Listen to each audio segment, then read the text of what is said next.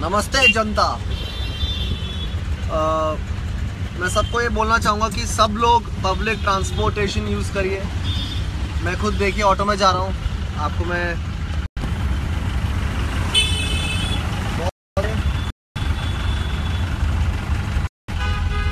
थोड़ा छुप के जाना पड़ रहा है बट आ, मैं ऑटो में ही जा रहा हूँ और पब्लिक ट्रांसपोर्टेशन यूज़ करिए। प्लीज़ बहुत ऑलरेडी बहुत भीड़ है। रास्ते में और बहुत सारा पोल्यूशन है। अगर सब लोग अपनी गाड़ियाँ निकालने लग जाएँगे और यू नो वैले को देने लग जाएँगे और शो ऑफ़ करने लग जाएँगे तो फिर दिक्कत होगी। So please use auto rickshaws और बसेस मेट्रो हमारी गवर्नमेंट ने बहुत अच्छा किया है स्पेशली सिटी में स्पेशली मुंबई जैसी सिटी में। हम लोग अपने गाँव में सोच सकते हैं, अगर हमें एक जंगल से दूसरे जंगल जाना है तो हमें एक जीप ले जानी पड़ेगी, क्योंकि हाथी मार देगा हमें।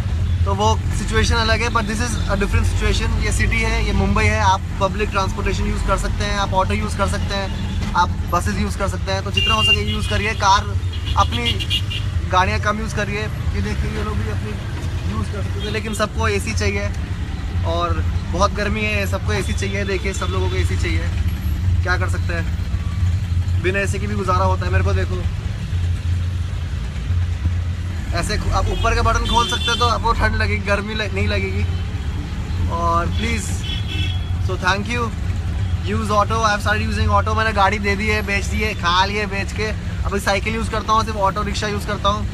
सो so, और मेरी मम्मी भी मेरे साथ हैं इस वक्त। यस सो प्लीज़ यूज़ हाँ बिल्कुल सही बात। मुझे पता है मैं सेलिब्रिटी हूँ।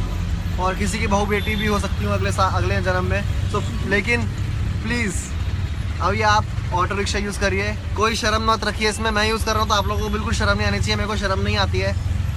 Auto rickshaw public transportation high शक्ति।